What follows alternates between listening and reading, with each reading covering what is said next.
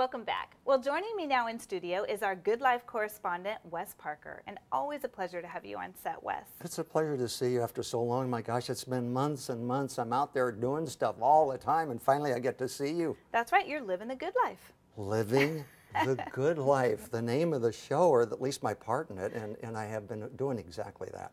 You know, this story I'm really interested in. It's um, we're going to be talking about Palm Springs, and as you know, I was an anchor in Palm Springs, and you actually, you know, lived during some of the wonderful times that Palm Springs was the glamour and the old Hollywood. And what yeah. was that like? A little like Las Vegas. A lot of movie stars went down there. Frank Sinatra, Lana Turner, Elvis had a home down there, and Ava Gardner. And there was a little period of time there where Frank went down to see Ava who I think was his wife at the time. And she, believe it or not, was caught in a compromising position by Frank Sinatra with Lana Turner. They were in bed together. Oh. These two megastars, female megastars, oh. were in oh. bed together. Oh my goodness. You know, I read a biography on Ava Gardner, but it wasn't that juicy.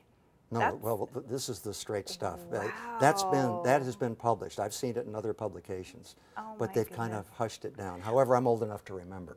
well, and back during that time, they didn't have the paparazzi like we do now, so those kind of stories didn't get leaked out. I mean, you can never get away with that now. Straight from my mouth to your ears. you heard it here on California Life, but I mean, it really was a time that they could go there and be private stars. They, they could, at least more so than in LA. And Palm Springs was very nice then, secluded, good air. It was healthy, mm -hmm. and especially during the winter, it was beautiful. In, in the summer, it, it, got hot then, just like now. But the winters were gorgeous. Yeah, and it still is. It is an amazing place, and that's really what our story, The Good Life, is yes. about today and what Palm Springs is now. So let's take a look.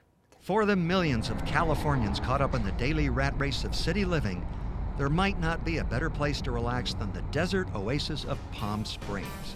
A city known for its warm weather, star studded history, and high end resorts and spas.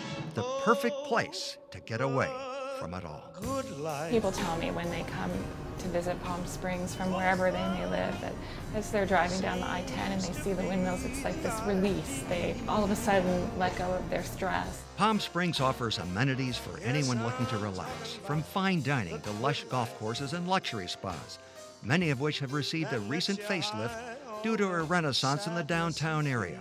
The city is experiencing a renaissance, if you will. Many of the hotels in Palm Springs have undergone extensive renovations. The Riviera here in Palm Springs underwent a $70 million renovation. This is a legendary resort in Palm Springs that Frank Sinatra and Sammy Davis made famous back in the 60s. They often performed here. For those looking to revisit the heydays of Hollywood, Palm Springs is rich with memories of one of the most glamorous times in California history. We actually have tours of celebrity homes as well as the mid-century modern homes that so many people want to see. And there's also a map at the visitor center that outlines to everyone where where they can find some of these homes. Many celebrities lived in Palm Springs over the years. Lucille Ball, Bob Hope, Frank Sinatra. Some of the biggest names in Hollywood had homes in Palm Springs. And that includes the king of rock and roll himself, Elvis Presley. His house is now owned by locals Reno and Laura Fontana, who keep the King's home open to fans looking to get a better look at the life of an icon.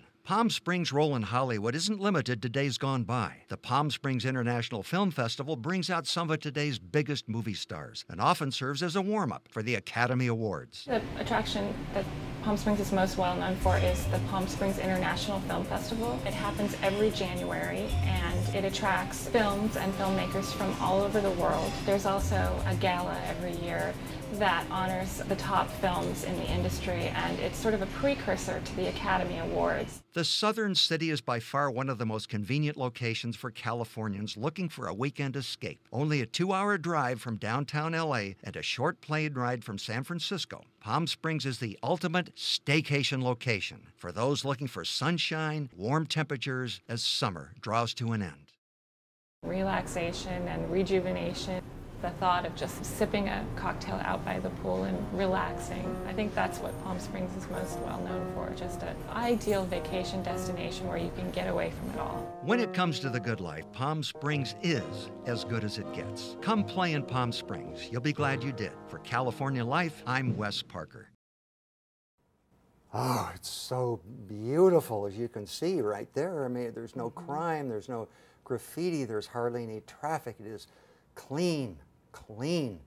And uh, I still go there myself. I've been there to the health spas, I've been there to play golf, I go there to eat, shop, just or to just get away, just to relax. And anybody wants to go there can get there from almost anywhere in California. And you know, and it's so well known. I know when I was an anchor in Palm Springs, I mean, people in Chicago, people from all over know about Palm Springs. And here it really is in our backyard. It's a great little staycation. Remember when all the kids used to go there for Easter break? Oh yeah, spring break. I know. Well, Uh-huh. now you know families. They have a lot of the you know these resorts with the great pools and for families and for golf and a lot of different things. So it was an interesting, good life. And thank you so much, Wes. It's always a pleasure to have you on I'm set. so glad to see you again. I know. What are you working on next?